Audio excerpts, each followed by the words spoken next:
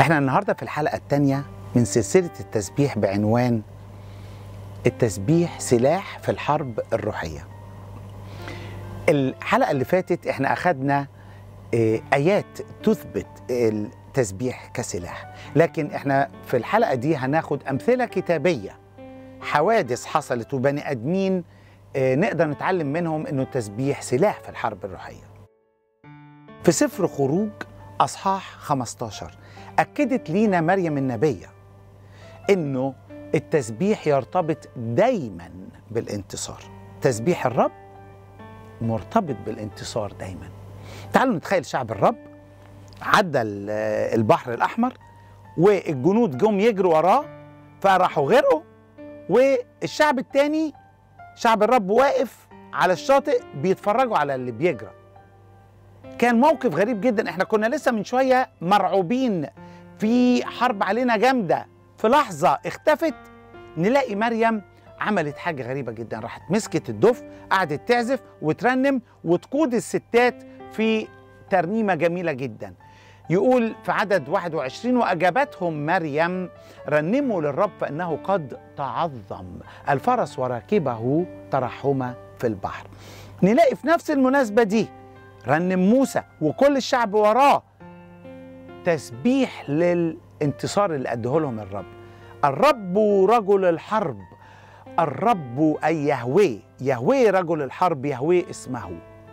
في خروج 15 3 تعالوا ناخد مثل تاني في أخبار الأيام التانية عشرين. الملك يهوشافاط جم عليه ثلاث جيوش على مملكة يهوذا اللي هي من سبط المسبحين وابتدوا هيهاجموه وعايزين يدمروه. انزعج. عمل إيه؟ راح للرب. قال له يا رب مش عارفين نعمل إيه؟ ربنا قال له الحرب دي بتاعتي. أنت مسلم لي حياتك من زمان. انت بتحبني من زمان انت بتتمم مشيئتي من زمان انت بتطيع وصاياي اللي في كتاب مقدس من زمان. انت ليك خلوة ليك في علاقة بيني وبينك تحتم علي إن لازم هساعدك. الشعب كله سبح وفرح وقال لهم الحرب ليست لكم بل للرب.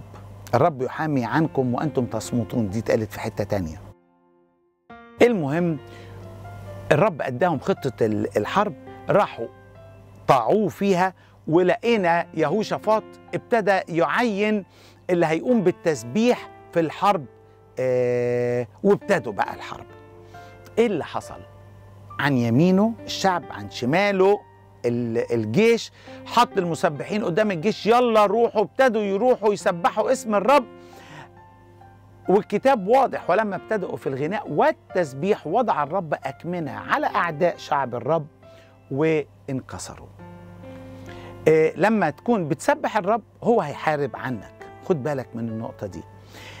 خد بالك هما ما طلبوش نار ولا ربنا يدمر ولا يبهدل ولا لا لا لا لا. هما بس سبحوا الرب. الرب مش بيستجيب إلا إلى صلاة المحبة. بس. خد بالك الفكر ده واضح في العهد الجديد. الشعب كان بيسبح وقالوا بما يعني بتسبيحهم إحنا عارفين إنك كلية قدره أنت وعدت إنك تحارب عننا النهارده. إحنا بنشكرك ونسبحك على النصرة.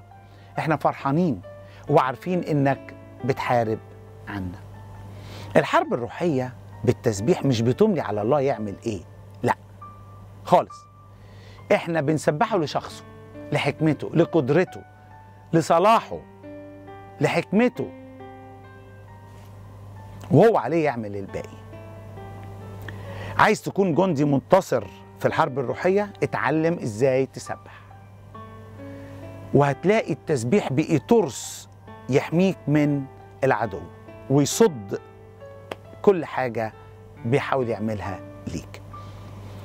دي نهاية حلقتنا النهاردة وهنروح في بقية الأحداث والشخصيات الجميلة اللي تثبت لنا أنه التسبيح سلاح في حربنا الروحية.